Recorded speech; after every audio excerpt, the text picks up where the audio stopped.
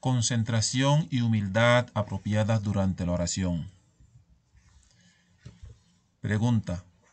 ¿Es verdad que si una oración le falta una concentración y humildad completa ante Dios, Él no la aceptará?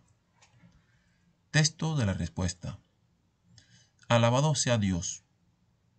Los creyentes deben hacer y ser humildes en una oración y concentrarse durante ella, porque Dios exaltado sea dijo, interpretación del significado.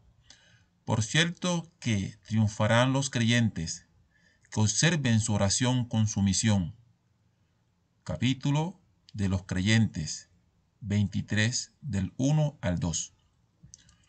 La concentración y la humildad durante la oración son uno de los aspectos más importantes y la esencia de la oración. Por consiguiente, debemos prestar atención para enfocarnos con humildad apropiada durante la oración, realizando con tranquilidad y sin prisa cuando nos postramos e inclinamos. Entre las dos postraciones, luego inclinamos y cuando nos posternamos de pie otra vez.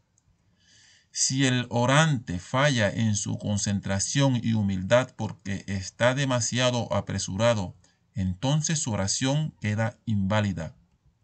Pero si está tranquilo y realiza su oración sin prisa, aunque a veces su mente divague y se descuide, esto no invalida su oración. Sin embargo, no tendrá la misma recompensa que cuando su mente estuvo concentrada y tuvo la debida humildad y atención plena hacia Dios.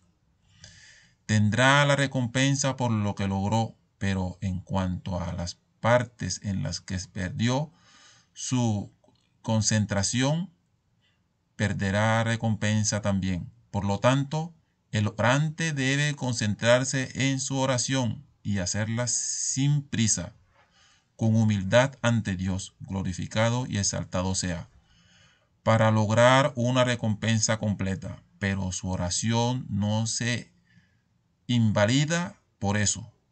A menos que el creyente realice una de una manera apresurada y descuidada, como cuando uno se inclina pero no se toma el tiempo para permanecer en esa posición.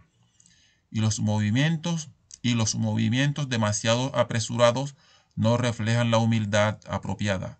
Lo que debe hacerse es moverse con tranquilidad, adoptando la postura correcta para que tenga también suficiente de decir Subhana Rabbil Aladim, glorificado sea mi Señor, el grandioso. Cuando se inclina, decir Rabbana la Señor nuestro, a ti pertenece toda la alabanza. Cuando se levanta después de la inclinación, decir, Subhana Rabbil A'la, glorificado sea mi Señor el Altísimo. Cuando se postra y luego de decir Rabbi Firli, Señor, perdóname, entre las dos postraciones. Cuando el profeta Muhammad sallallahu alayhi wasallam, o sea, que la paz y la bendición de Allah sean con él, vio un hombre que no oraba con calma como debía, le dijo, repita su oración. Dijo, reza, porque la, no la has hecho. Orar de manera tranquila y sin prisa es uno de los aspectos más importantes de la oración. Y esto es lo que se requiere del orante al inclinarse y al postrarse entre las dos postraciones y levantarse después de la inclinación eso en árabe se llama taminina, que significa tener calma y tranquilidad. También es eh, también mencionado como concentración, lo que significa tener enfoque apropiado y humildad al rezar. Entonces, es necesario orar de manera tranquila y sin prisa, de modo que en cada etapa de la oración tenga tiempo de realizar con cuidado lo que corresponde.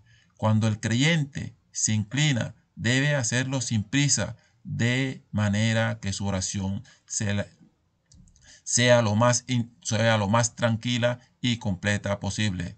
El Sheikh Abdulaziz Ibn Baz.